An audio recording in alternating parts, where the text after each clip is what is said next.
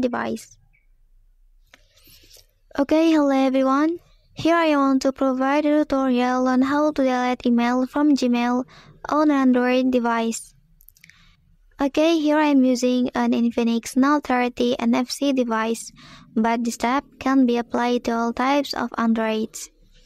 Okay, before going to the tutorial, please click subscribe for more information. Alright, first step, please enter into the Gmail application on your device. After that, here you can tap the account icon in the upper right corner. Okay, after that, please choose the manage account on this device.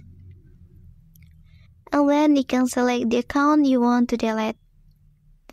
After that, you can select the remove account or delete.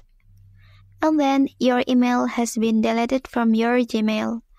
Okay, that's the tutorial on how to delete email from Gmail on an Android device.